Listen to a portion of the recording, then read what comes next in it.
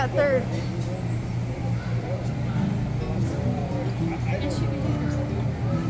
She had a little help.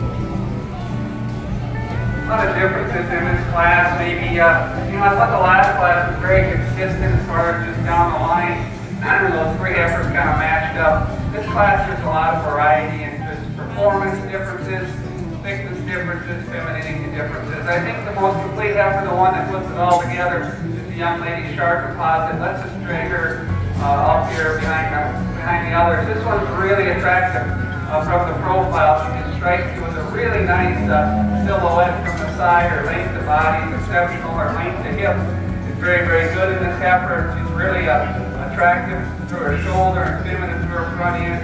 Plenty of body in that heifer. If I would just change her one area, I'd like to just free her up in terms of her movement just a little bit. She wants to just get a little shorter and step behind if I could really pick on that heifer. But that's a nice heifer to win the class.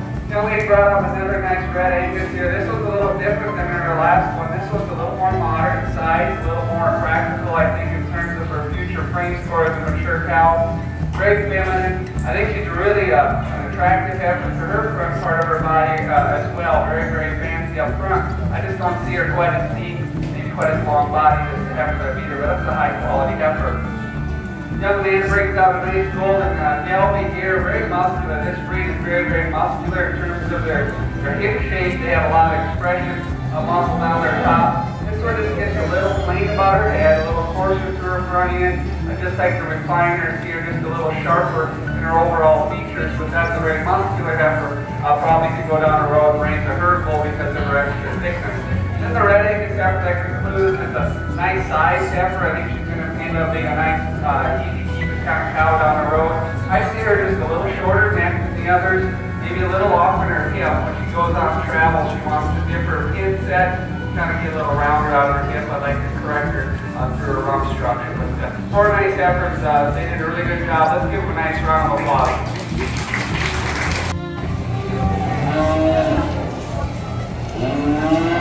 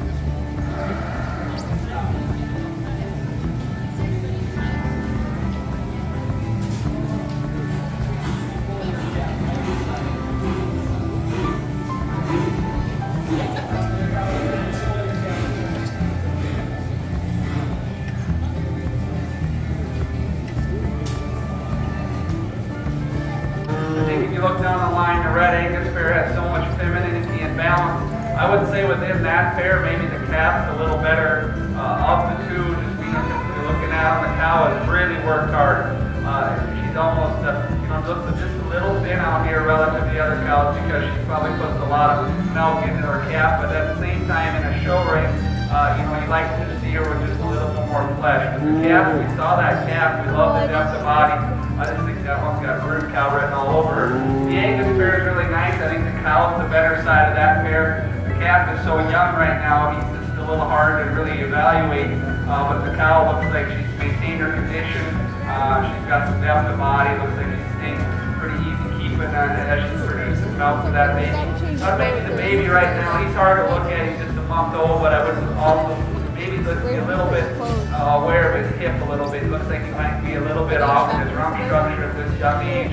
Hopefully he'll grow out of that. The Gelbvieh Fair is really interesting. That's a big strap and bull calf. The young man said that's a March calf.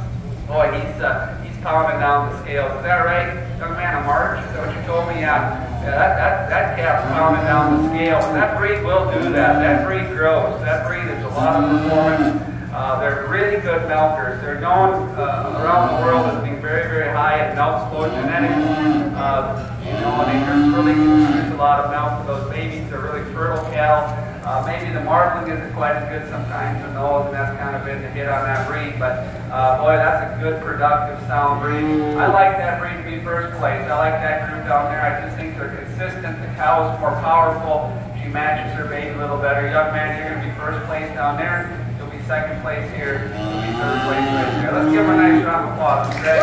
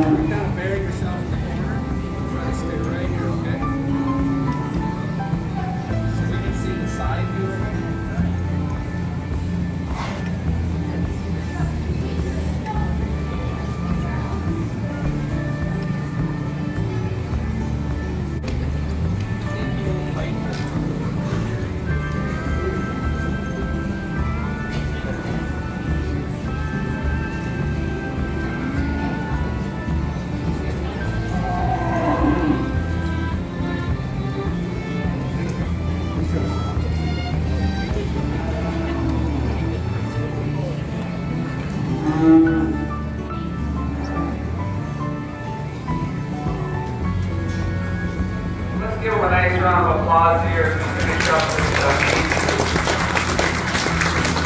There's a lot of talent out here, and I, I think as they, uh, as they, they get older, and go to more shows or watch older kids, uh, uh, just, you know, mimic what the older kids are doing. You have uh, some really good senior showmen in this county, so hopefully you guys were standing there watching uh, over the fence and kind of learning. That's the, I guess in our household, that's the best way my kids learn. Don't listen to me very much. And so my daughter, uh, right now, she's still 4-H and she likes to get on the internet. You can watch cattle shows every day across the United States. You, uh, you can watch the Iowa State Fair right now, it's going on, and you can watch showmanship in Texas today. So you can really, she learns a lot that way, and that's where she learns kind of new things that's out there, the trendy things these kids are doing showmanship. And so I encourage you guys uh, use the internet for good, not evil.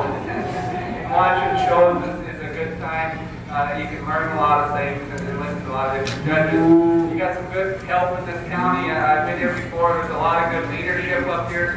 Really good uh, families that, that raise livestock. Really good uh, 4-H and youth educators. So a lot of good volunteers. So just utilize them as much as you can to get better. You guys have a lot of potential just some little things you're going to have to continue to work on. Uh, how you hold the halter, how you exchange the halter and the show stick as you go around the ring. Uh, you know, I think those little things will come with time, but I, I do think you guys, uh, you know, have a lot, a lot, a lot of potential. Hopefully you stick with the B project and continue to grow the REAP project up here in Carlton County. You know, uh, companies feel like their shoulders maybe a little bit too loose, and, and, I, and I say that at every fair I go to. Um, I think it'll help you. You can try it anyway, but I think it'll help you, uh, especially those cattle that don't wear halter very often you can kind of get it off their muscle, they may respond just a little bit better to you. And I think that would help you. Um, as far as junior showmanship, I watched you guys throughout the day. I, I visited with you a little bit as we went around the ring. I'm not going to ask you really, really tough questions. I just like to visit with you. Hopefully, you know a little bit about your project, the breeds, um, maybe a little bit about the sire and the dam. You definitely know the birth dates. Those things are always kind of very traditional. that A lot of judges will ask. But uh, for me, I just like to study showmanship and kind of separate the young people that I think really have a great understanding of, of, of what they're doing out here. So congratulations to everybody. Uh, good luck in the future. First place in this age group, the young man with the Gelbvieh heifer. Let's pull you forward. Congratulations to him. Going second, young lady. Very good job. Congratulations.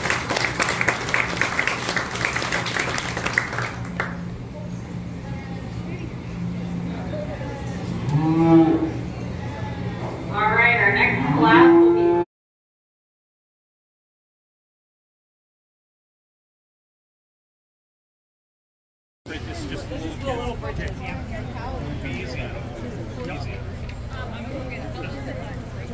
All right, I'll go.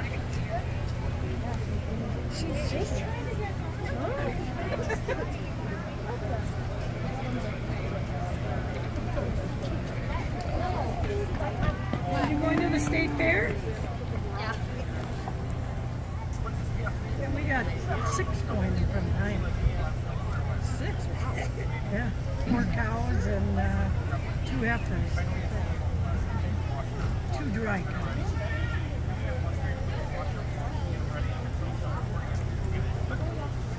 Bob's gonna be there Saturday. Go ahead and walk, keep walking in this. We'll see how good he does.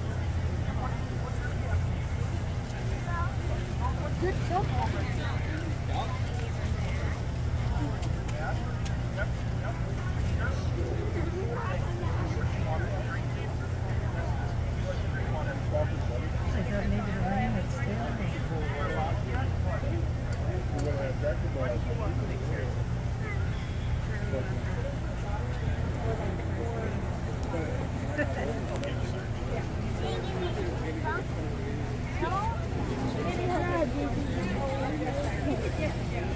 Give all these non-listed exhibitors a nice way to start off your open class series. So I just like to go through and see what they did. And, you know, their CF name, see what the kids did for at the and see what they know about their. CF. Like I mentioned in our Fulbright class, I'm in the heat of this. Show myself with three little boys at home. We go out and travel and do this too. So this is my favorite class today. Let's give them all one last round of applause. Make sure you get up here and get your pictures. We'll take a second because this is the best part of the day. I'm not sure. Um,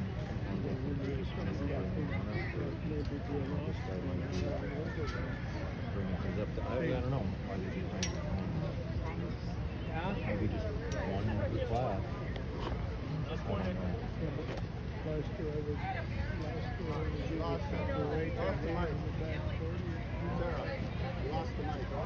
know. Just one entry in your Jersey calf class. And for me, Heather, I think that he was withstand a lot of competition. She's so square made, straight over her top right. Heather that is really pretty up to her front end, blends so smoothly from neck to shoulder, shoulder barrel, and has a lot of depth and sweep to her rib cage. Heather, I like to change her a little bit. I'd like to take a little condition off, especially to her hips and. Put a really well made calf with a young lady. Let's give her a nice round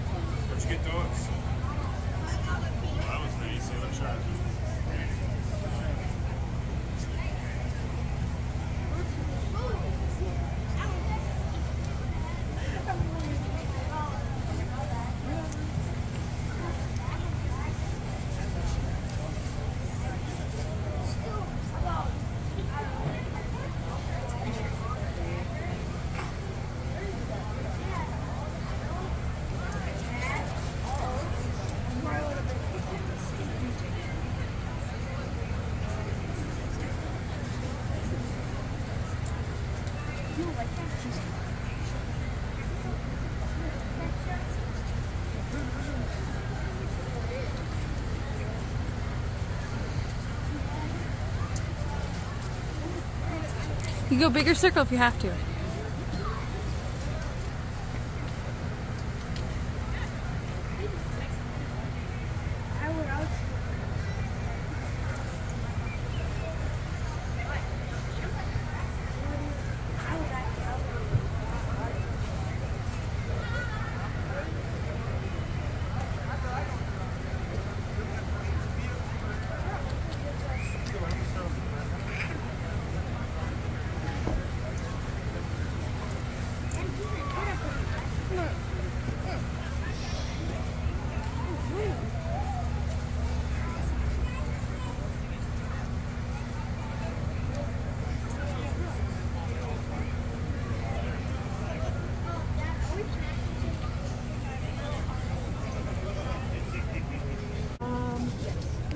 Spring Junior.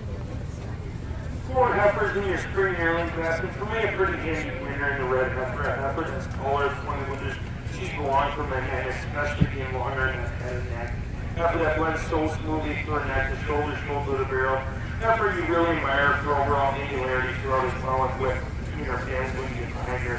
For her leg to change a little bit, maybe give her a little bit more flex to her as she walks down the ring, and a little bit more depth and sweep to her ribs each today. Taking other away from the heifer and stepping a heifer that like the width of power throw. She's wide in her front end, here yet she's wide set and smooth and curls. Good one's really smoothly from to shoulder, shoulder barrel. I maybe just like to make her a little bit more feminine get up over the red heifer ahead of her. Heifers are on the bottom of the class heifers that are really well made heifers, heifers that maybe give up a little bit too much size and a little bit too much, and a little more functionality on their rear legs get up over the two ahead of them. Let's give all four individuals a nice round of applause for their efforts.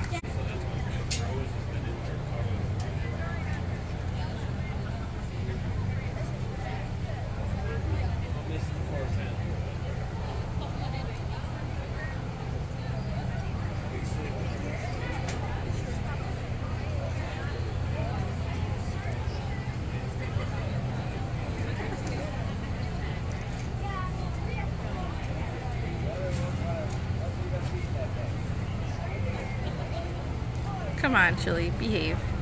Come on, do you want to get a ribbon? Yeah. I knew I something. I got it written on so and everything for you.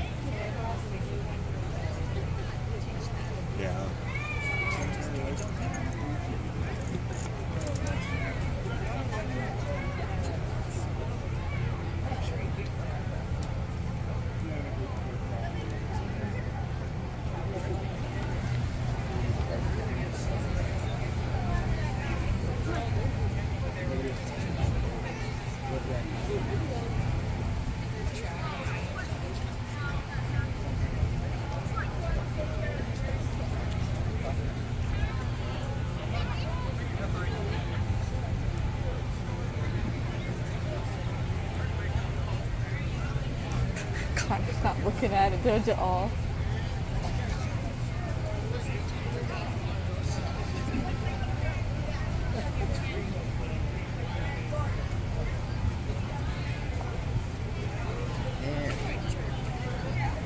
Just to highlight a few things happening around the fairgrounds today, on Friday, we will have the carnival that opens at 11 o'clock. Wristbands today are from 12 p.m. to 4 and 6 to 10. Also, outside of the opera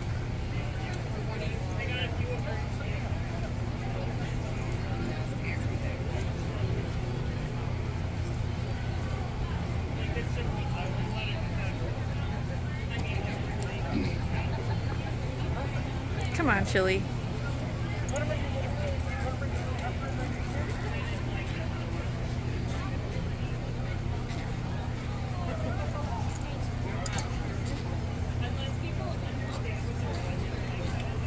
I told Dad, I said, I got a chiropractor appointment. It's got to be Monday because Tuesday you got a chiropractor. I didn't want him doing anything.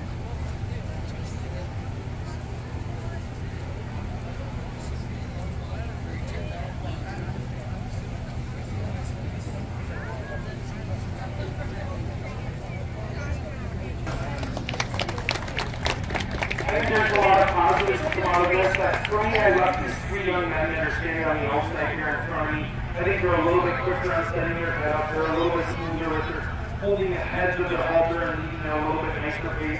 Take nothing away from the four in the ring. I gave them a few corners. I think if they all work out, I think they're all very patient, really calm and collected with their efforts. I think they'll do a great job in the future. But for these young men out here, maybe just a little bit faster setting up their efforts today.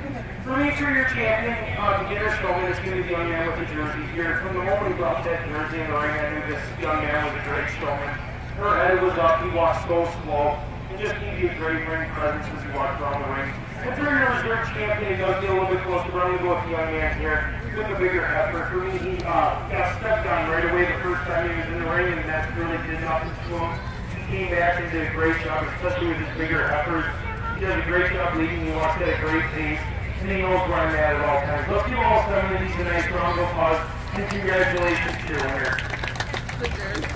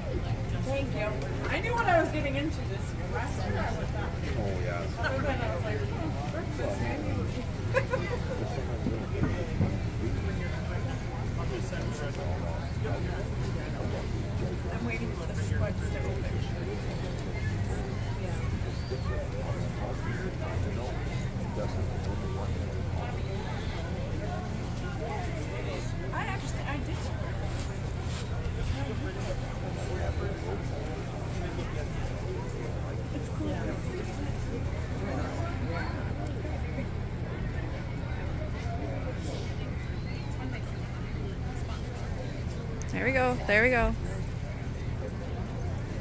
Feet are good, Jessica.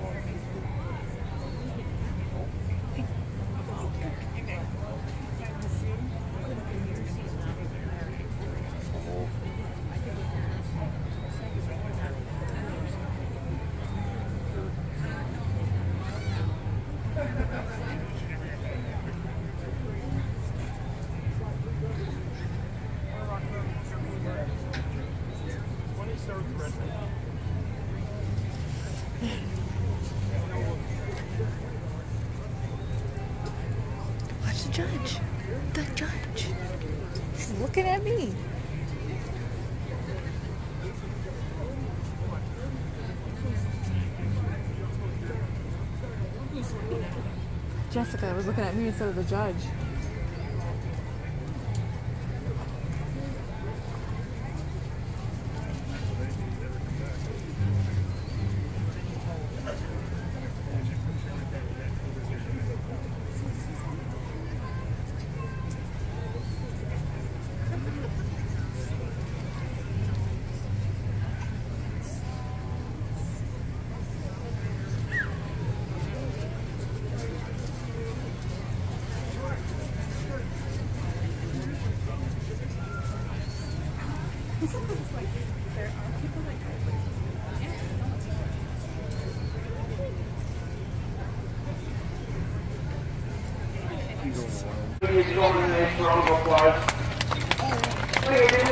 Stone. I went to talk. To talk with each one of them, ask a little bit about their efforts. We mainly go through and see their, see what skills they have, and try to help out the best they can. You know, with fitting, getting the halter fitted well right, just handle and put their hand in. In the halter does a lot of on the way you need an effort. Walking slow is a big important thing as well being able to get your effort like set up correctly. So for me, um, these three individuals left out here did a nice, little bit quicker job on setting their efforts up, maybe handled their efforts head carriage a little bit for your champion, you're showing young man right here with the jersey effort. I think he's a little bit faster on setting the efforts legs up, just a little bit smoother on the head. He just does a really nice job of running really nice with the effort. And for reserve champion, he does get a little bit. I'll go the young lady with the breast red effort. I think when I told her to slow down, she did slow down tremendous. She leads the effort with her head up so nicely. And they just put her own ring with a lot of